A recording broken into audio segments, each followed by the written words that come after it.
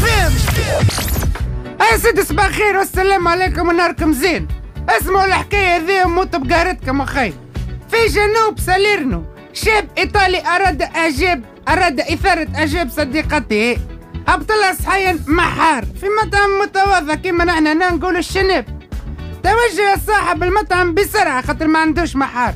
لدى بائع الأسماك ليشتري المحار؟ فوجد عنده سوى ثلاثة كعبات محار تروى لكن عندما فتح المحارة الأولى شعر بشيء قاسي تحت أسنانه. فاكتشف ثلاث اكتشف ثلاث لآلئ في كل واحدة سيانيس اكتشف.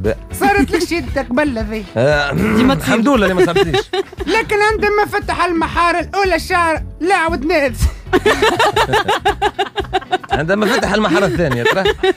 لقيت رو آخرين وفي الثالثة لقيت رو آخرين يعني في كل واحدة لقيت ثلاثة. أربع يعني تسعة تسعة. ديمو. تسعة لؤلؤات عاد مش جيمو لؤلؤات سيدي ناكا مش فاهم نقول لكم في تونس تنجم تلقى كل شيء كان من الآلة والسؤال يبقى مطروح. وين الديمون وين الديامون وين اللآلئ السلام والرحمة. لا، هو أنا مش من- فاهم شيء. والله في تونس سيدي تحل يمكن تلقى كعبة حمص. يمكن إذا كان حسيت حاجة تحت هكا سنيك نزلت عليهم كون راهي سنتك. راهي سنتك راهي. تلقى حجرة. حاجة راهي هو في تونس كي تمشي تحل هكا تحط بلاتو فيه آه، ولا بلا فيه الفلويد مير كي تحل كعبة المول ديجا كي تلقى كعبة المول تسمى سلك سما سلت فما بالك تلقى اللؤلؤ.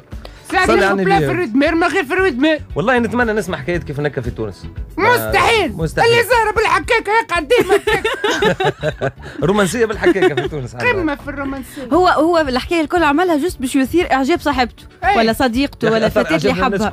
لكن هو في الأساس يعني لو كان في تونس كان باش ناخذ موقف حمايته معناها نتخيلوه راجل تونسي أها. وهالبنيه مسكينه عندها حماتها باش. تقول لك أول حاجة باش تقولها لك تقول لك هالبنيه قسمها جلاب وعتبتها سمحة. ووجهها مبروك. صحيح. وفي روايه أخرى باش تقول وليدي كان من الأول وريتها اللولي وحليت لها عيناها. اش مازال باش يرضاها بنيتي ديامونتا بالله كان وبنيتي ديامونت. كان من الفطور يلقاو اللؤلؤ.